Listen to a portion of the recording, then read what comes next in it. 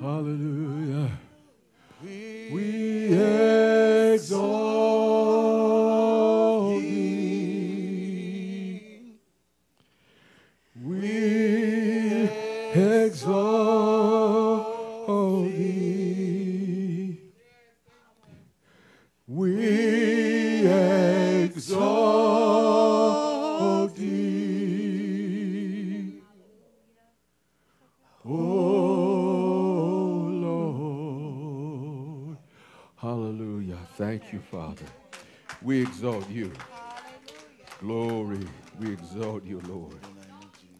God is worthy to be exalted. Amen. High above the earth. Amen. Amen. High above the earth. Amen. He is high and lifted up. High and lifted up. He is high and lifted up. Amen. He is high and lifted up. He is high and lifted up. Hallelujah. He is high and lifted up. Hallelujah. He is high and lifted up. He is high and lifted up. Hallelujah. He is high. The Bible says, out of the abundance of the heart, Yeah. the mouth speaks. It says that praise is comely. Come on. It says praise is comely. It says offer unto him the fruit Yes. of your lips. It Yes. says that he's jealous. Mm-hmm. Amen. He's jealous. Mm. And if most of what we have to say with the breath that he gives us is not praise, he's jealous. Amen. And so we should practice not only when we come together in the house of the Lord, but we should practice praising him not for any other reason other than the fact that he deserves praise. If we don't praise him, the rocks will praise him, and he'll find someone else to praise in our place. God has already done pretty much the best he going to do for you and me up to this praise level. He doesn't do more to get us to praise him more. We need to praise him for what he's already done. Because he's already been overly gracious to us with the breath in our body.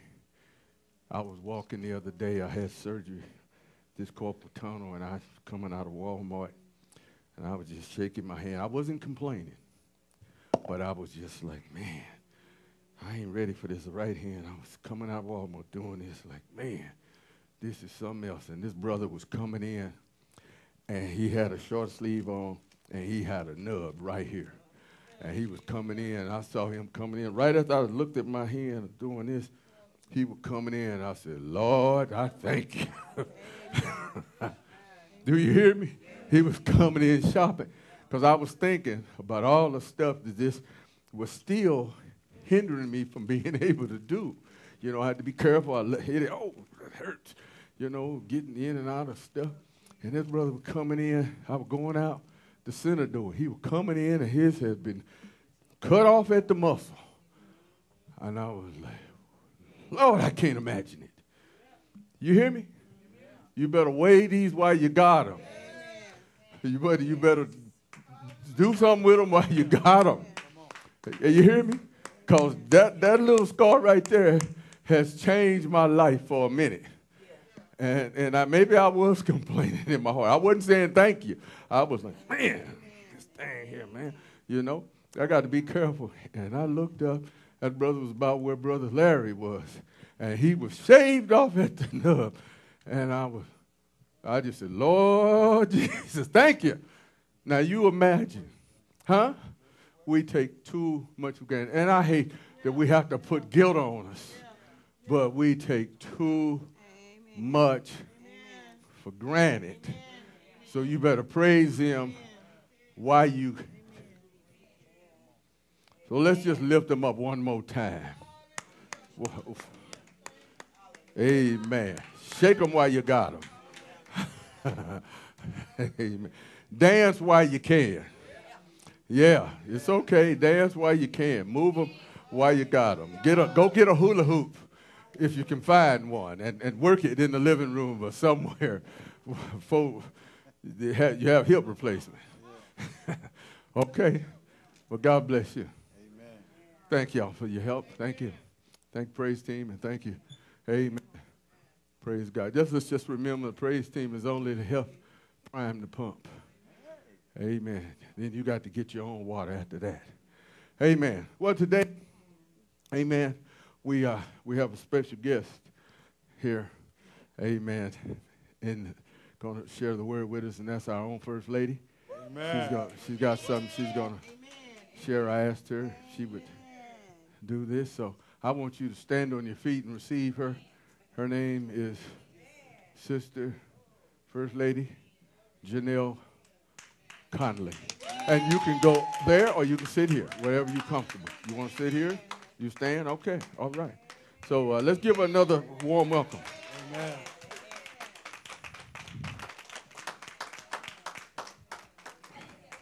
Thank you, bro. Thank you. Hallelujah. Let's give God a hand clap of praise. Amen. Hallelujah. Because He's the one that we're here to truly, truly give glory and honor to. So just let's just give continue. Let's give him a bigger, yeah. bigger. Hallelujah to the to Lamb. Be praised. All right. We Hallelujah. Hallelujah. God, we give you glory. glory to God. We there, thank you. you may be you may be seated. Hallelujah. I know my feet was hurting a few minutes ago, so I had to sit down for a minute, but I'm okay now. But I give, uh, again, glory and honor to God who is truly, truly worthy to be praised. And I thank him. I give honor to Pastor Conley, uh, my husband, and uh, my covering. I thank God for him and to uh, the other ministers and household of, and just the household of faith, brothers and sisters. I um, truly want to give honor to the mothers of today. Today is the day uh, to honor mothers and mothers. Stand up, mothers. Stand up, mothers. Hallelujah. Come on, let's give ourselves, men, give us a hand clap of praise. All the ladies in the house stand up because I know you have truly mothered nieces and nephews and, and even some of us. So thank God for all the women in the house. Ladies, sit down. Brother, stand up. Let's give honor to our brothers too and the Father. Stand up. Amen. Hallelujah. Glory. Glory. You've been inspirational in our lives as well, and we thank God for you. Um, I just counted an honor and a privilege to be able to uh, stand here today because I uh, that song really blessed me. It's okay not to be okay. It's all right not to be all right and because earlier this morning I was really struggling, and I uh, told Pastor Conley I was just full of tears this morning. I said, I don't want to cry. I don't want to get up there with a bunch of tears. I want to be able to encourage somebody else, but my heart just got so heavy, heavy thinking about uh, the loss of my mom, and this is the first Mother's Day she hasn't been here, but I know she's here in spirit. I know she's. Uh, She's smiling wherever she is. I know she's in the bosom of Abraham, Abraham waiting for that great day. So with that, I find joy. I find joy in when I think about her, and I know she would be happy to hear me standing uh, up here encouraging. Well, somebody give me my glasses out of there because I know I can't see without my glasses. It's in a, um, a blue case inside of there. Thank you. So with, and I know she would be happy to um, know that I'm encouraging somebody and I'm speaking a word from heaven, from God. Hallelujah. So Pastor Conley, when he asked me to do this, I thought, okay, it's it's it's been a minute. And he says, Come what may, regardless of what what comes, what goes on in your life, are you sure you're gonna stand before God and, and preach and, and encourage the the people of God? I said, Yes, sir, I will. And, you know, this morning I almost went to him and says, I can't do it. But I, I remembered what my promise was to God at first and my promise to him. So I thank God for this opportunity. And as we know, there's a lot of mothers in the Bible that we could really talk about. The number one mother was Mary, uh, mother of Jesus, Jesus. So we know there's a lot of mothers, but I just want to talk from my heart, and I'll give you some scripture in a minute. So when I thought about mothers and, and how great it is to be a mother, I started thinking about um, how do I celebrate being a mother? And I, I celebrate being a mother just because of my children and they, they are blessed. I know my children are blessed. I know the fruit of my womb is blessed, and I think it's in Luke Luke 1 and 42. I, we don't have to go there, but I know the fruit of my womb is blessed. And that's talking about when Mary and Elizabeth first met and how the womb, uh, the baby in Elizabeth's womb leaped. And that's how I feel a lot of times when I think about my children. I think about how blessed I am to have them, how, how blessed. And I hope each one of us as mothers feel blessed to have children because it's it's not easy. It's not always been easy. It's always been a struggle. And I think about, but it's worth it. Everything that we've been through as a mother is worth it. And we we see our fruits right now, and we're going to see more fruits if we just continue to remember that our children are blessed. God don't make no mistakes. Amen. I don't care how old I was, uh, 17 when I had my first child, and I thought then that it was a mistake. But to God be the glory as Amen. I grew and I learned a motherhood, what motherhood was all about.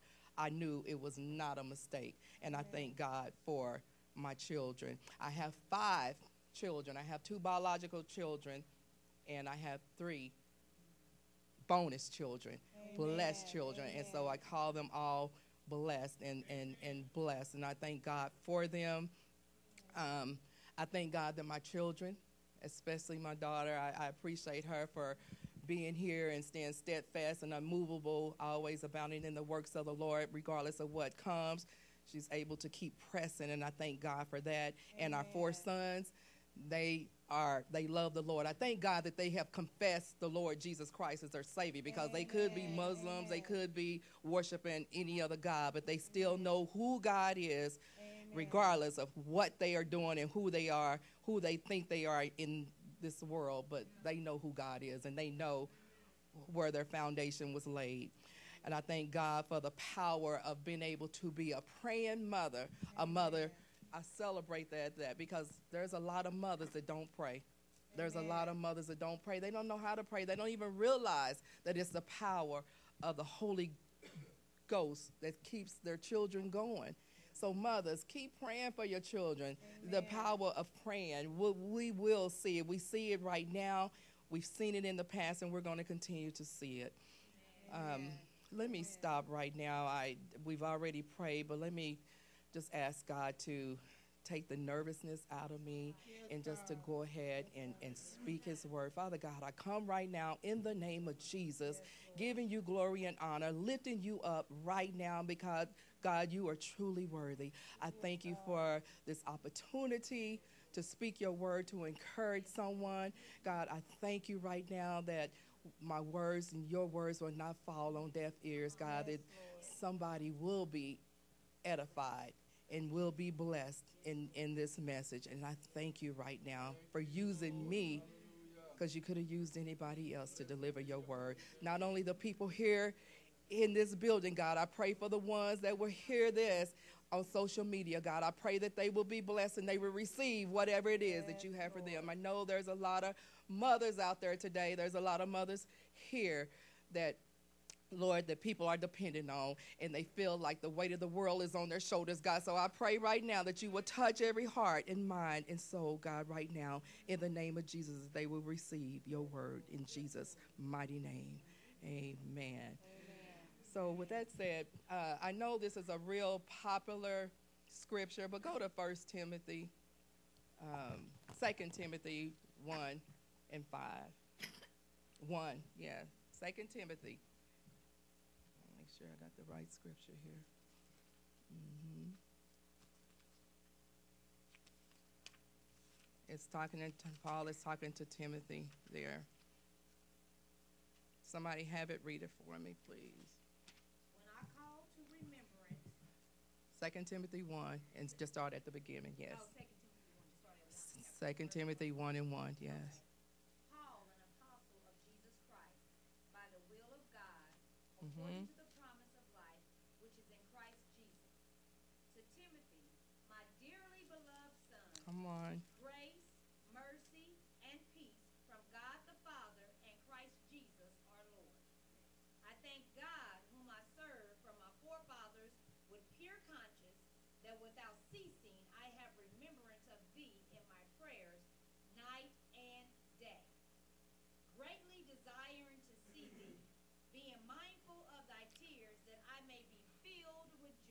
Yes. When I call to remembrance the unfinished faith that is in thee, which dwelt first in my grandmother Lois and thy mother Eunice, Mm-hmm. and I am persuaded that in thee also. Wherefore I put thee in remembrance that thou stir up the Oh, gift yes. of God, which is in thee by putting on of my hands. Yes. For God has not given us the spirit of fear, but of power and of love and of a sound mind. Hallelujah. You can stop right there. Stop right there. When I think of that scripture, I think of grandmothers, and I know some of us are grandmothers. We're mothers. But God, Paul talked to Timothy about his grandmother and mother and the influence that they had on his life. So some of you need to stop and think about your mothers and your grandmothers that was influential in your life. This was a rough time for Timothy during this time and he needed to be encouraged. And thank God that he thought about his mother and his grandmother to encourage him. So when I think about I've never had a grandmother in my life ever. So, but I thank God that I've had aunts that were grandmothers to me, and I, I think of one specifically. She was my aunt Helen, and she was so so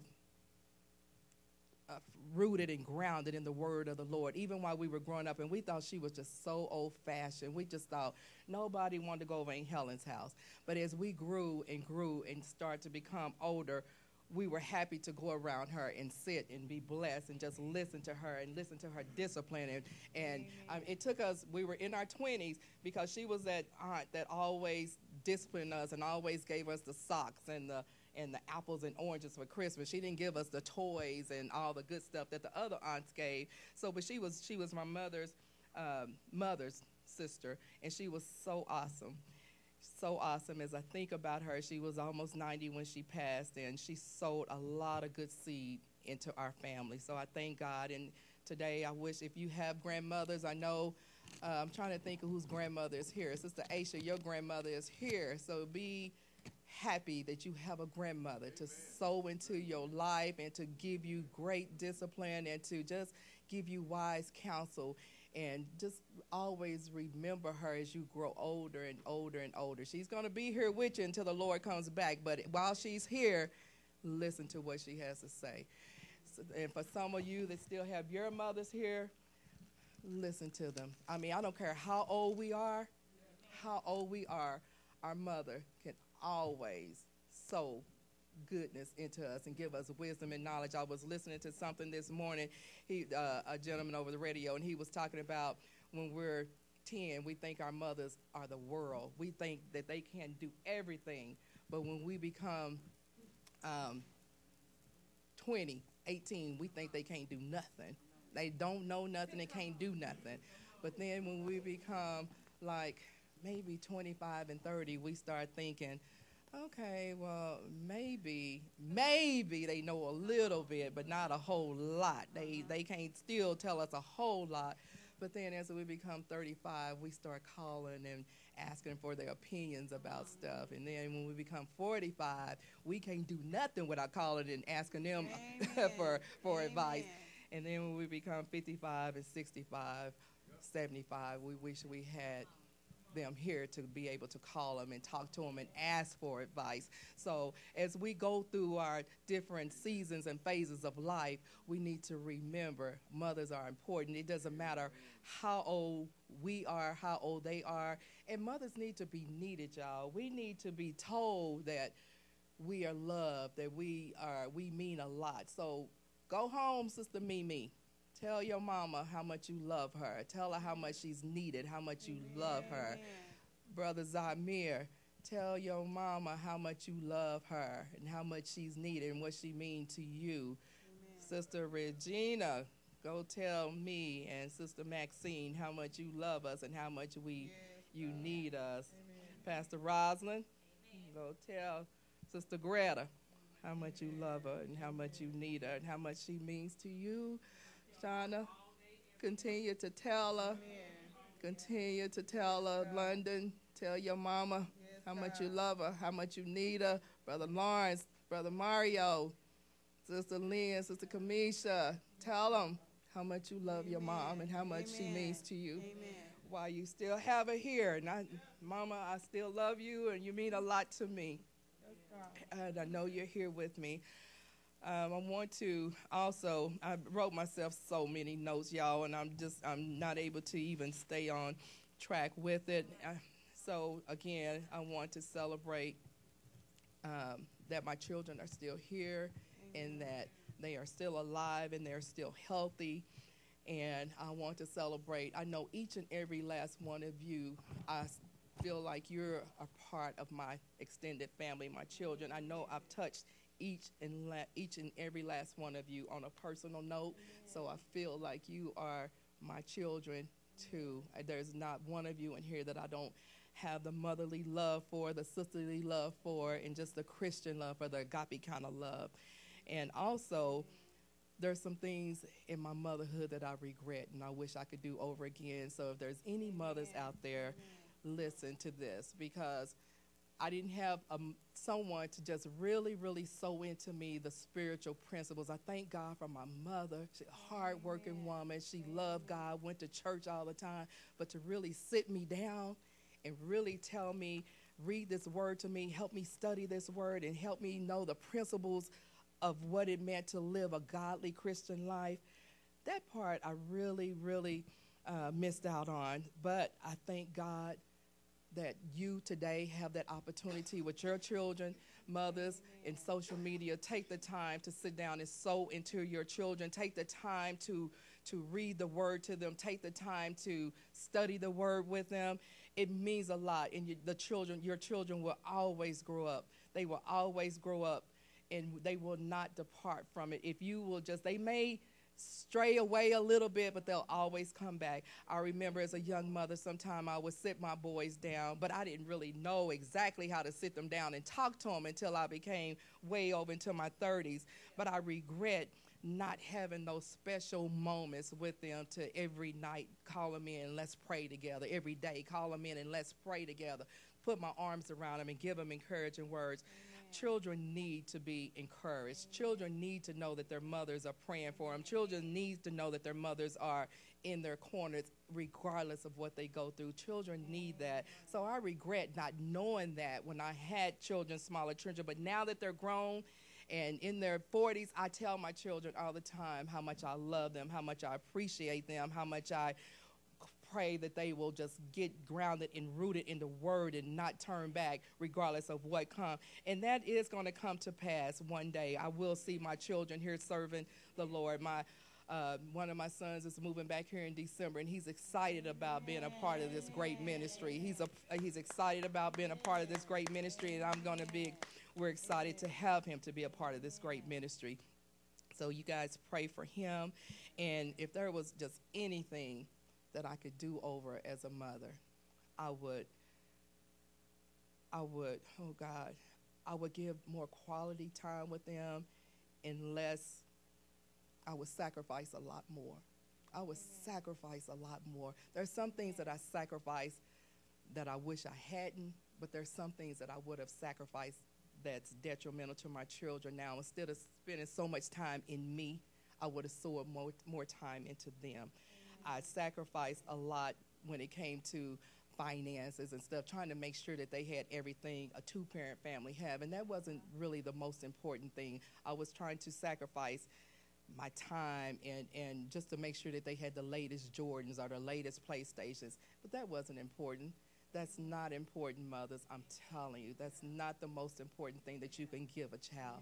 You can give them love and the Word of God and prayer and encouragement. That's what's more important than a PlayStation or, or tennis shoes or a nice car or nice clothes. Mothers, sow into your children sow into your children the word of God. Take the time to wait on God. Wait on God before you have children, first of all. wait on God to send you. That's one of the things that I regret, and I know I can't take it back. But I wait, wish, I pray that I, I regret that I didn't wait on God for a godly man to come into my life and to help me raise my children. So, women, it's okay. We got them. Do your best by them. But if you don't have children, wait on God. Amen. Wait on Him to send you a father, send you a spouse. I mean, to send you a spouse and a father for your children. I'm telling you, you will be blessed if you just hold on, hold on, and wait, wait on God. And one other thing I want to tell the children. I've talked to the mother. I just want to real quickly tell the children that are here today to love your mother unconditionally. Amen. Love her unconditionally. Amen. Love her when she's old. Love her, love her when she's young. Love her when she's old. Amen. Just love her. Love for who she is. Love her when she gives you, when she doesn't have anything to give you but love. Love her anyway, in spite of. Children, Mimi, I keep looking at you in London and Asia and Zamir, but I'm even talking to the children in social media. Give your mother a hug, an affectionate hug, every day, several times a day. Don't wait till she asks you for a hug. Just go up and just hug her just because. Just because. And I'm, I'm talking to the young ones, but Pastor Roz, Minister Gigi, Sister Crystal, Kamisha, Shauna, y'all can do this too every day. Brother Lawrence, Brother uh, Mario, Minister Terrence, y'all can hug your parents as often as you can. Hug your mother affectionately. We need hugs. Damien, Chantrell, Chris, Wayne, Gigi, if y'all out there listening, we need hugs. Maxine and I need some hugs. We need to know that we are we are needed. And watch what you say to us, y'all. Y'all be careful. Watch what you say to us. We hurt easily. We fragile. So we we think about I, I sing that song to my both of my boys all the time. For the nine months I carried you. Well, uh, for the nine months I carried you, stayed up and prayed for you, no charge. So they like mama, but every time when I they start to get on my nerves, I start singing that song for them. So, um, but anyway, watch what you say to us, children. Watch what you say to your mother. Uh, and then listen to them. Listen to them attentively, y'all. Listen, listen to your mother. Even though you might think that we don't know what's going on, but stop working your phones and, and, and, and doing all that stuff while we're talking to you. When a mother's talking, it's very, very important. Every detail about, e- we know every detail about each one of our kids. Whether y'all believe it or not, we know you. So take the time to